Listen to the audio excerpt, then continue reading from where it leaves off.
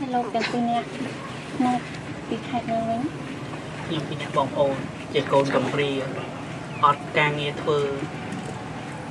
ដាច់បាយជាច្រើនថ្ងៃអស់ជឿវាទៅជឿវាទៅទាន់វារស់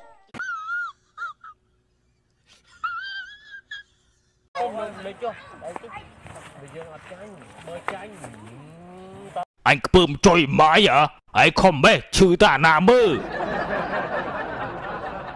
អញថាចេះក្បាច់គុណហ្នឹងឯងទៅហាត់នៅក្នុងលូណាណាយកពេលវេលាទៅប៉ះកង់ប៉ះម៉ូតូទៅវិអានេះអាចោត្រូវគ្រាប់ហើយចេញមកពូ TikTok ទៀតហ่าឯងស្ងាត់ដាក់បត់អោសងសាអើយឲ្យបងសុំទោជារឿងព្រោះថ្ងៃមកឲ្យទៅប្រឡងប្រឡងអីគេប្រឡងមួយគោឯង បងមិនធ្វើខុងឲ្យអូនលំបាកទៀតទេទៀតហើយអញហើយចាំបានផ្ទះបាញ់អត់ទៅមែនអើហើយចាំមើលវាតទៅមុខទៀតវាយ៉ាងម៉េចឲ្យបងកាយខ្លួនផងមៀមេឯស្រែកល្អបាទស្រែកល្អបាទតែមិនល្អព្រោះណាល្អថ្លង់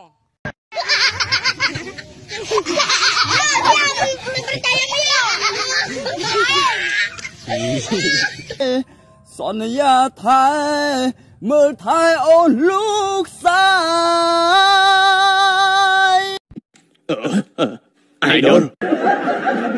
idol idol ខ្ញុំថាជុំ idol យូរ